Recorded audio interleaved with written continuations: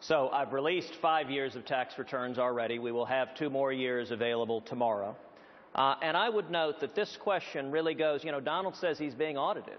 Well, I would think that would underscore the need to release those returns. If he has said something that was false and that an audit is going to find was fraudulent, the voters need to know.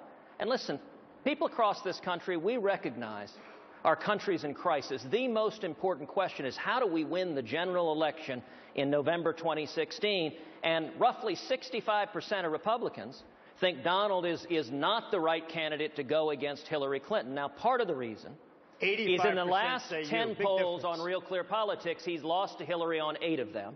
In the last 10 polls on Real Clear Politics, I either tie or beat Hillary.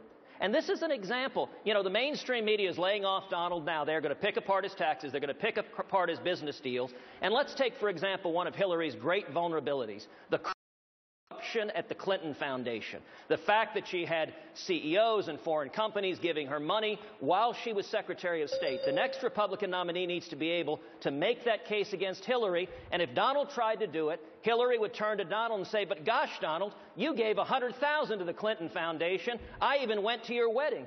He can't prosecute the case against Hillary, and we can't risk another four years of these failed Obama policies by nominating someone who loses to Hillary Clinton in November.